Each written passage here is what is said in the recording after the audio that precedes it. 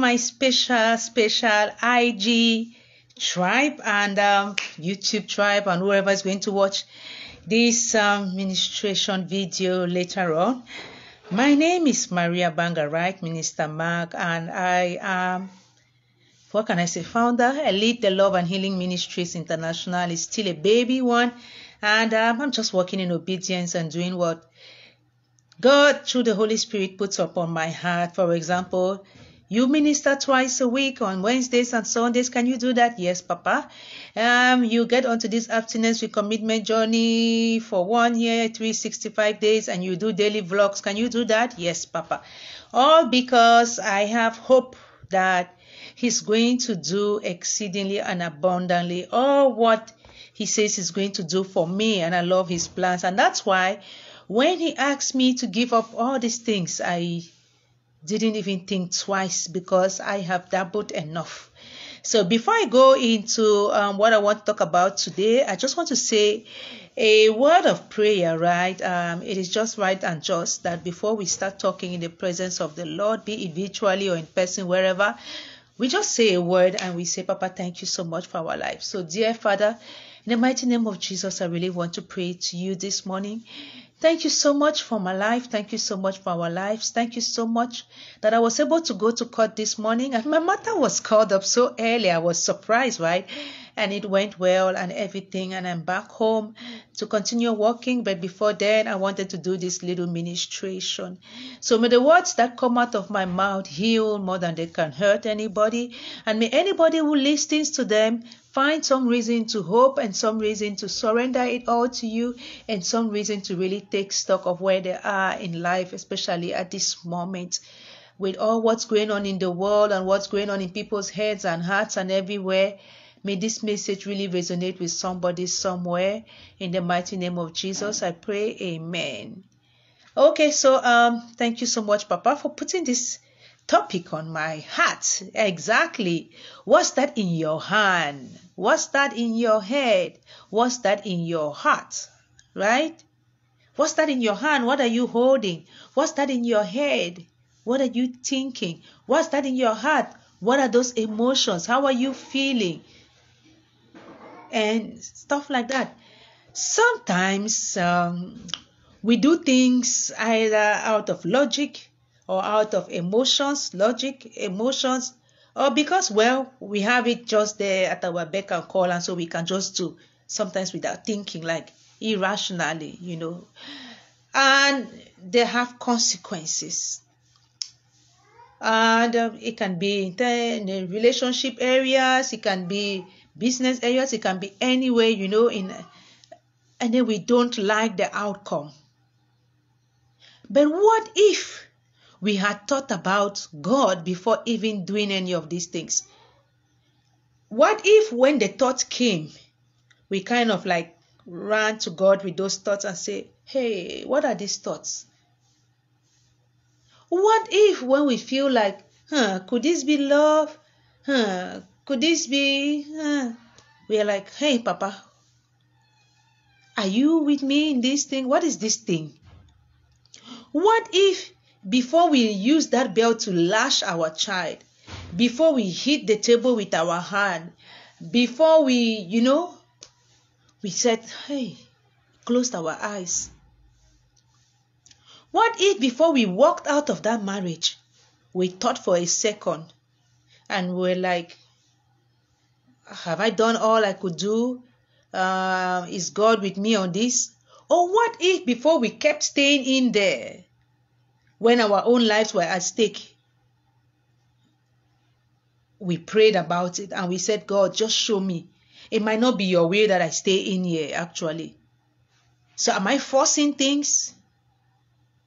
Am I just exposing myself to more and more trauma and danger and abuse and all of those things? Am I jeopardizing my own mental health? So there is a lot of what if involved. And I and, and I just got this little verse uh, uh, from the Bible, um, Exodus chapter 4, verse 2 to 3. When God wanted to use Moses, Moses was 40 years old. It's like when we get to that age, I'm 43, there's some kind of you know, enlightenment, awakening, some kind of something that happens to us. And if we miss it at that stage, then what's the point? I don't know. So I'm just like grateful that I've really gotten to that stage in my life where I take my time and I step back. You know, like I just left court and uh, my friends were like, uh, my colleagues who have not seen me for long, whoa, man, where were you? I'm gone. Come to my sacred space, do my ministration, walk my walk, read my books, cook food for my children, stay me quiet. This is the stage where I am in my life now. This is my season. And because I love myself so much, I don't just want to, to, to, to be doing whatever, wasting my time and fooling around with whoever and all of those kind of things. You know, entertaining people anyhow and, and stuff. No. Or doing just whatever, maybe for the sake of money, fame, all of those things. Eh, eh. I just come and stay me quiet there. I mean, what do I have? I give it to God. God asked Moses, What is that in your hand? Moses said, A rod. God said, Throw it down. Because God wanted to use what he had in his hand to show him his power, to show him what he could do through him if he gave it to him. Uh-huh. We are God's mouth and ears and hands on this in this world. So he cannot do anything to show his glory to the world without passing through any of us. And that's why we are called laborers and workers in his vineyards and vessels. What do we want him to do? Send Jesus again? So that we do what? Crucify him? That one time is not enough. You remember what he told Abraham, uh, um, Lazarus? Or oh, that rich man, sorry, not Lazarus. When they have all the prophets, they didn't listen to them. Uh, is it Lazarus that they're going to listen to? Although he still ended up sending Jesus. And what did we do? People go through so much hurt. Recently, with one dead by suicide after the other, like maybe every week, I don't know how many people and all of those things, because the ones we see or we hear of, it's nothing as compared to the ones we don't hear of. So much trauma going on in the world. So much. What's that on your heart? What is it? What is it that you cannot take to God? He says, Come to me, all you who labor and weary and heavy laden. It means that He knows that people will be people will be laboring because oh we want to achieve acquire acquire buy buy buy buy own own own. Who is who in america? Who is who in cameroon? Who is who among the first 20 the first 50 the first 100 the most performer of, of, of under 20 all of those things. Okay good and fine. That's what you want. But me that's not what i want i used to maybe long ago and I accumulated a lot of trauma in the process. And now I'm spending my time chasing God now. Papa, heal me. Heal me one more time, oh Lord. Some people might not want that. If it's not for you, it's not for you. But I know that there are some people we want that. Because sometimes when you've been through stuff and you've gone through so much and you have so much and yet you don't have that peace and that serenity, nothing helps. So add the money, add the clothes, add the shoes, add the whatever, add the sex, add the partners, add the everything. The, nothing will give you serenity. You lie down on whatever kind of mattress, you will not sleep. You will go to whatever hotel, go on whatever vacation, all of that, you will not sleep. So, what is it on your heart? What is it in your head? What is it in your hand? Throw it down. I saw this thing, the part of trauma healing, and I really, really loved, just resonated with me. And this is something I also do, and I'm going to share one very recent personal experience, you know, and how I, I just follow this. Because the trauma doesn't have to be some big and long ago trauma and all of the anything that causes you distress. And that is like it's going to, it's affecting the way you are moving in this life and all of that. That is trauma. Affecting the way you behave and think and all of that for me that is trauma. And i live with post-traumatic stress disorder so i can identify trauma.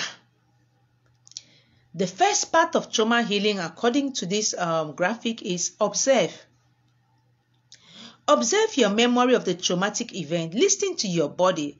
Acknowledge what your body is telling you. And I'm going to use my personal experience as I go along each part. So there's this, I don't know if I call the man a young man or an old man, whatever. You know, people can say whatever. You cannot really tell from somebody's face sometimes how old they are, right? So there's this guy, you know, who approached me on social media um, two weeks ago and oh, I love you, I love you, I love blah, blah, blah, blah. And they were already so convinced, their spirit minister to them and everything. And I was like, hey, God, oh, which one is this again? I didn't know that this thing will happen so soon. Oh, me, I'm on this journey. I'm trying to focus. I'm focusing, and I don't want me distraction. And I kept telling this person, I don't want distraction. What do you want? And so I observed and something similar had happened to me last year in November. And you know, sometimes because you are like, well, well, nah, your body starts to act and they start to be like happy. They start to already dream about when you both be lying down together and you be putting your head on his chest and stuff like that. This person even went as far as when we did a video call, like the second time or so, they had no top on. And I quickly told her, no, no, no, no, I'm uncomfortable. Like if we are talking and you don't also see me, I don't have a top on, and you're looking at my breast, what is that? I'm like, I don't know you. I'm not that relaxed already to be seeing you without a top on. Please put on your t-shirt. I don't want that. And it never happened again. You know. So I I was able to observe. I was able to think about, you know, other traumatic events like because I've had relationship sagas upon relationship sagas. So I don't want anymore. So I'm very careful when somebody approaches me now. And so I could listen to what my body was telling me. And I proceeded to understand that what was happening or what had happened was not my fault. It's not because I just I'm, I'm, I'm freedom and love, so I just love that I cannot I'm, I'm I'm taking advantage of, you know, by all kinds of people. The devil is forever roaming, searching who to kill, destroy, all of that. So no, it's not my fault that I am me. It's not my fault that I just love and all of those things. But I need to understand this. And one of the ways for me to understand something, frankly speaking, as I'm growing spiritually, and I've been doing this for a while, is to fast and stop communication with this person for a minimum three days. I want to listen. And God tells me things. Sometimes I will want to do my own, or sometimes I'll be like, but this particular time, He said, Yes, you can date.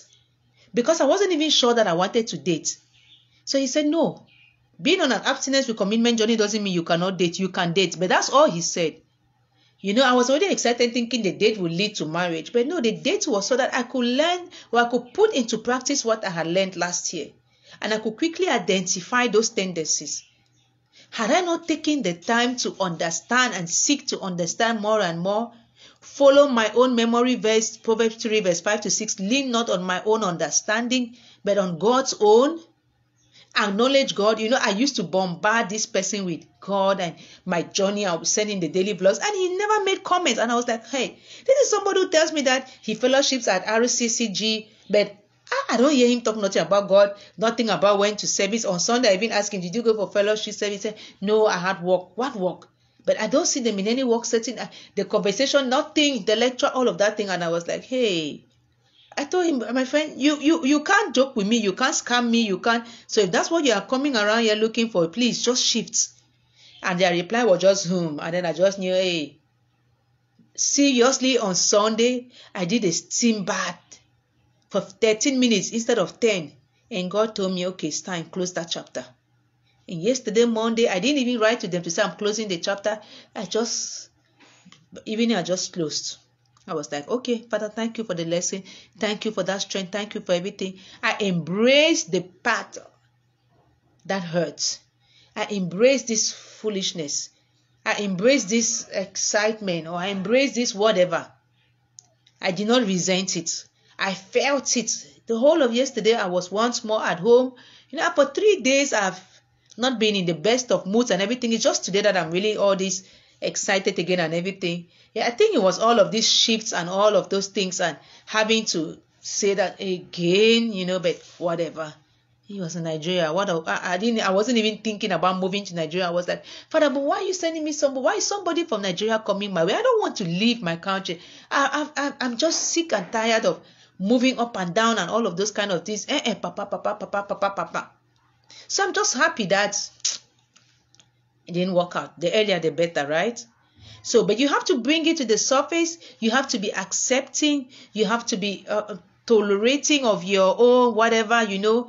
And you have to even show some love. You know, I actually prayed for this person. I was like, Father God, I hope that this little interaction with me will actually help them when either now or later, you know, to really turn around and give their lives to you. You know, all these scammers, these love bombers, and these catfishers or whatsoever, what are they doing with their lives like that? Because at least this one and that other one in November and whatever, I don't think that they are less than 40. So if at this age you are still doing those kind of things, when are you going to start living some real decent life that you yourself can be proud of? Or maybe they're proud of that life. I don't know. But when I think of this guy, whether it's a Hushpuppi or whatever, I'm like, okay, you did all of that crap and now you're in jail. Are you happy? Is that the life you wanted to live? What is all of that? Judgment is not mine anyway. So the last thing to do is release. Release the feelings. Release it. Release it. Stop piling things up, keeping things up. Release the emotions, release the sensations. And I have a beautiful way of releasing. I talk about it, I pray about it, I write it, I talk about it publicly, you know, and that is it, it's gone. And I have some sisters, I have my small tribe. I talk to them at the beginning, I talk to them in the middle, I talk to them at the end, and I listen to them. One said, Ah, all this intensity, these guys who come to you with so much intensity, and I thought about that word. I was like, huh, Father, it is true. Could this be for real? What is all this intensity? And I thought about it and I was like, no, uh-uh, uh-uh. You know, another one said, ask them when they fellowship because I didn't ask. I want to know. You know, and stop because sometimes I'm just like, no, you know, people can, nah. And allow those things to leave your mind. You know, because your mind has to be renewed for you to be transformed. So be pushing them out by putting in new things. I am more than a conqueror. God who is with me is bigger than than this guy. All of those things. That's just what I was telling myself. You know, so remove it from your mind, your body, your spirit. You know, don't lose your glow. Don't be sad. Somebody said, I'm sorry. I said, no, there's nothing to be sorry about that. I mean, I'm happy. And well, my body was never involved. My money was never involved. So I didn't lose nothing. And I just listening to something this morning um, on I, Instagram before I did this, and I want to wrap up with that, right?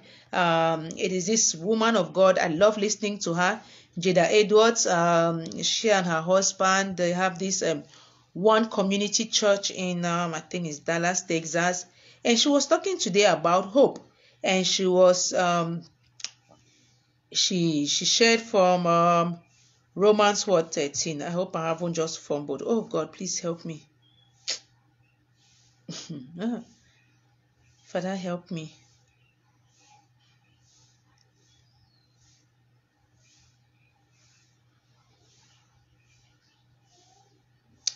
This is me again. Oh, goodness gracious. Okay. I need to find it. It's so important. Seriously.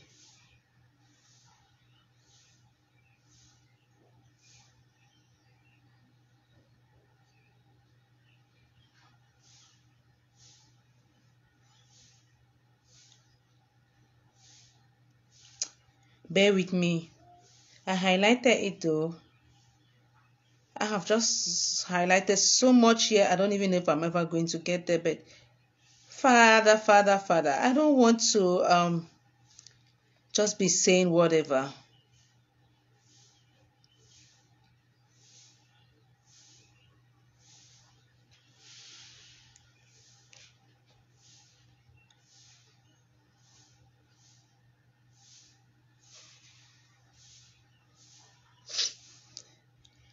Touch me one more time, oh Lord. Touch me one more time, oh Lord. I need the touch of the Master. I need the touch of the Lord. Touch me one more time, oh Lord. Father, heal me. Heal me one more time, oh Lord. Heal me one more time, oh Lord. I need the healing of the Master. I need the healing of the Lord. Heal me one more time, oh Lord. Father, save me, save me one more time, oh Lord. Save me one more time, oh Lord. I need the grace of the Master. I need the grace of the Lord. Save me one more time, oh Lord. I lost the passage and I don't just want to say something like that. Bear with me. But I know that it was Paul saying that we shouldn't give up, that um, there's so much hope assured. And yes, we come to Him. He tells us that. And He promises us David said it right, Psalms 23. He is our shepherd. He can only lead us beside still waters. He can only lead us to calm our souls. Even if we walk through the valley of the shadow of death. That is why whatever is in our hearts, whatever is in our head, whatever is in our hands, whatever we even feel like saying negatively about us or others, we can just throw all of those things down. Thank you so much, Father, for this ministration this morning. I really want to give you all the glory for all of that and for all what I keep learning and for all the experiences I keep having and for all what I keep sharing, for all those who would listen to me. And even if it's just one person, Papa, I thank you so much for that and for all what you're doing in my own life. I give you all the glory in the mighty name of Jesus. Amen. Okay, well, see you on Sunday. Until then, God bless us all.